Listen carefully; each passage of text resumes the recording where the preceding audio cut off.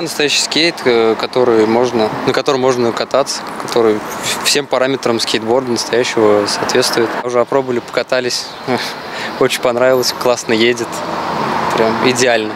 Столь же высокую оценку дали и эксперты чемпионата профессионального мастерства госкорпорации «Росатом» «Атом Skills. Это один из крупнейших корпоративных турниров в мире. На Skills 2022 в Екатеринбург съехались более 1400 участников из 40 регионов России. 16 команд, представляющих все дивизионы Росатома, соревновались по 39 профессиональным компетенциям. Сотрудники Зареченского производственного объединения «Старт» выступали в составе сборной ядерно-оружейного комплекса.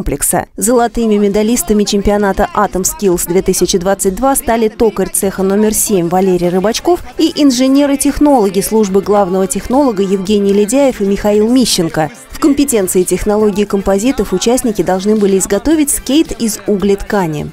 У нас был этот материал, мы должны были сделать оснастку под него и выложить, так скажем, в него э, вот эту ткань и пропитать ее смолой вот так.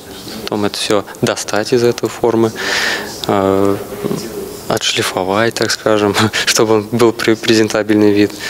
Вот, и предоставить на суд э, экспертам. Очень интересно, когда тебе дается модель на компьютере, и тебе уже по этой модели нужно изготовить деталь. И свойства необычные, очень легкий и прочный материал. Здесь мы работаем с металлом, а это что-то совершенно новое очень важный опыт. За нашими спинами стояла огромная команда, которая была и здесь на предприятии, и где-то даже, бывает, некоторые люди отдыхали, с которыми мы обращались за советами, которые нам помогали принимать решения. За счет нашей команды мы справились более чем успешно. Высшую ступень в компетенции работы на фрезерных универсальных станках завоевали оператор станков с программным управлением второго цеха Дмитрий Рыбаков и мастер производственного участка цеха номер 48 Алексей Кашкин. Шли мы до этого ровно 4 года. Конечно, впечатление колоссальное. Это, это был взрыв мозга просто, когда объявили идти за первым местом на сцену.